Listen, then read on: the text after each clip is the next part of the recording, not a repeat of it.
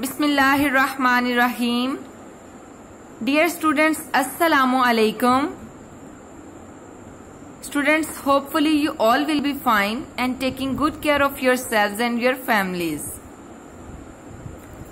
Students chapter number eight nutrition में हमने previous lecture में कंपोनेंट और फ़ूड में कार्बोहाइड्रेट्स और प्रोटीन को डिटेल से डिस्कस किया। बेटा, आज हम third main energy component that is lipid उसको डिटेल से डिस्कस करेंगे। Students lipids present in food are composed of fatty acids and glycerol lipids जो है वो फैटी एसिड और ग्लिसरोल के मिलने से बनते हैं। ये एक स्ट्रक्चर है ट्राइग्लिसराइड का। इसमें वन ग्लिसरोल स्टूडेंट्स आप देख सकते हैं कि one glycerol and three fatty acids combine to form a one molecule of triglyceride that is a lipid lipids जो है, वो ग्लिसरोल और फैटी एसिड्स के मिलने से बनते हैं। एक ग्लिस्ट्रोल और थ्री फैटी एसिड्स जो है, वो मिलके ट्राइग्लिसराइड का मॉलिक्यूल बनाते हैं and that is a lipid next energy value की बात करें तो students one gram of lipids contain nine kilo calories of energy mean एक ग्राम लिपिड्स को इनटेक करने से nine kilo calories of energy मिलती है। अगर इसको हम कंपेयर करें कार्बोहाइड्रेट्स और प्रोटीन्स के साथ तो हमने देखा था कि कार्बोहाइड्रेट्स और प्रोटीन्स में four kilo calories energy per ग्राम जो है वो मिलती है, जबकि लिपिड्स में nine kilo calories of energy per gram so double amount में एनर्जी जो है वो मिलती है। So lipid is a big source of energy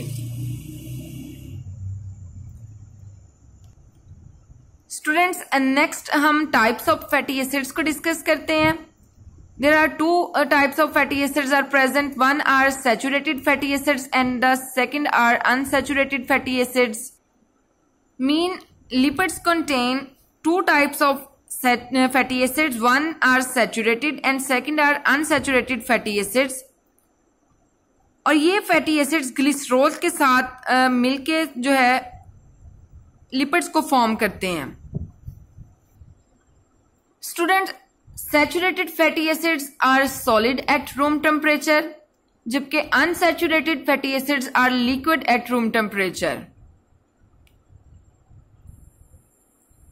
students अगर हम सैचुरेटेड और अनसैचुरेटेड फैटी एसिड्स के स्ट्रक्चर को कंपेयर करें तो आप देख सकते हैं कि ये सैचुरेटेड फैटी एसिड्स में कार्बन और इसकी लॉन्ग चेन में each carbon atom is occupied by the hydrogen atom जबकि अनसैचुरेटेड फैटी एसिड में बेटा ये कार्बन कार्बन जिसमें डबल बॉन्ड है, ये एक ऐसा पॉइंट है जहाँ पर कार्बन कार्बन के दरमियान में डबल बॉन्ड है। यहाँ पर इसकी हाइड्रोजन को, इन कार्बन की हाइड्रोजन को रिप्लेस किया है डबल बॉन्ड ने।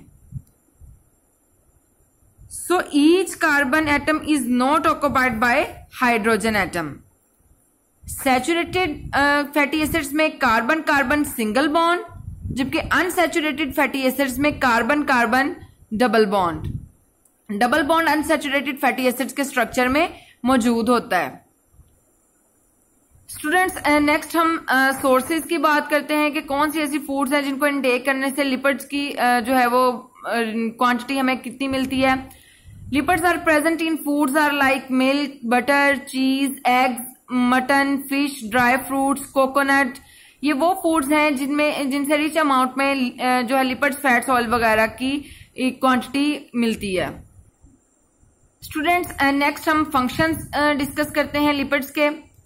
Lipids are useful source of energy जैसा कि हमने पहले देखा कि कार्बोहाइड्रेट्स और प्रोटीन्स के मुकाबले में लिपिड जो है वो डबल अमाउंट में एनर्जी प्रोवाइड करते हैं। So lipids are big source of energy second it is used to form membranes sheets of neurons and hormones students हमने सेल बायोलॉजी के चैप्टर में पढ़ा मेम्ब्रेन्स के स्ट्रक्चर को. मेम्ब्रेन्स के स्ट्रक्चर में हमने देखा डिटेल से कि मेम्ब्रेन के स्ट्रक्चर को लिपिड्स प्रोटीन्स और कार्बोहाइड्रेट्स जो है वो कंपोज करते हैं. यहाँ पर भी आप देख सकते हैं मेम्ब्रेन्स के स्ट्रक्चर को जिसमें लिपिड्स जो है मौजूद होते हैं प्रोटीन्स और कार्बोहाइड्रेट्स और इसके अलावा न्यूरॉन जो कि स्ट्रक्चरल यूनिट है और नर्वस सिस्टम का तो उनकी न्यूरॉन्स की शीट फॉर्मेशन में बहुत इंपॉर्टेंट रोल प्ले करते हैं एंड हार्मोन्स की फॉर्मेशन में बहुत इंपॉर्टेंट रोल प्ले करते हैं। तो ये तो कुछ फ़ंक्शंस हैं लिपिड्स के जो हमने डिस्कस किए।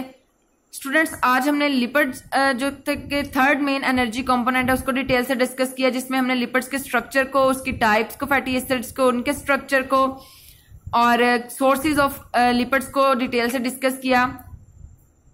आई होप कि आपको इसका कॉन्सेप्ट क्लियर हो गया होगा स्टूडेंट्स अगर आपको कोई भी कंफ्यूजन है, कोई भी क्वेश्चन है बेटा तो आप क्वेश्चन करें, पूछें पॉइंट क्लियर करें। Thank you